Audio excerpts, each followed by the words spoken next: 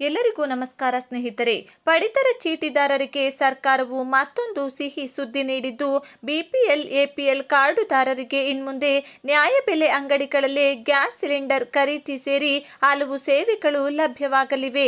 ಹೌದು ನ್ಯಾಯಬೆಲೆ ಅಂಗಡಿಗಳಲ್ಲಿ ಇನ್ಮುಂದೆ ಪಡಿತರ ಚೀಟಿದಾರರಿಗೆ ಗ್ಯಾಸ್ ಸಿಲಿಂಡರ್ ಖರೀದಿ, ಬ್ಯಾಂಕ್ ಖಾತೆ ತೆರೆಯುವುದು, ಇಂಟರ್ನೆಟ್ ಸೇವೆ ಪಡೆಯುವ ವ್ಯವಸ್ಥೆ ಶೀಘ್ರವೇ ಜಾರಿಯಾಗಲಿದೆ.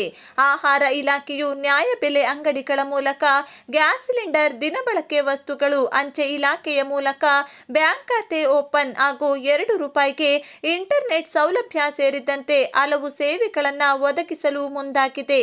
ಇನ್ನು ರಾಜ್ಯದಲ್ಲಿ ಒಂದು ಕೋಟಿ ಹದಿನೈದು ಲಕ್ಷ ಎಪ್ಪತ್ತೊಂಬತ್ತು ಸಾವಿರದ ಎಂಬತ್ತೊಂದು ಬಿಪಿಎಲ್ ಇಪ್ಪತ್ತ್ಮೂರು ಲಕ್ಷ ಎಂಬತ್ತೇಳು ಸಾವಿರದ ಒಂಬೈನೂರ ಐವತ್ತಾರು ಎಪಿಎಲ್ ಹಾಗೂ ಹತ್ತು ಲಕ್ಷ ತೊಂಬತ್ತು ಸಾವಿರ ಐನೂರ ಅರವತ್ತ್ಮೂರು ಅಂತ್ಯೋದಯ ಸೇರಿ ಒಟ್ಟು ಒಂದು ಕೋಟಿ ಐವತ್ತು ಲಕ್ಷ ಐವತ್ತೇಳು ಸಾವಿರದ ಆರುನೂರು ಪಡಿತರ ಚೀಟಿದಾರರಿಗೆ ಪ್ರತಿ ತಿಂಗಳು ಇಪ್ಪತ್ತು ಸಾವಿರದ ನೂರ ಅರವತ್ತೆಂಟು ನ್ಯಾಯಬೆಲೆ ಅಂಗಡಿಗಳು ಪಡಿತರ ವಿತರಣೆ ಮಾಡ್ತಿವೆ.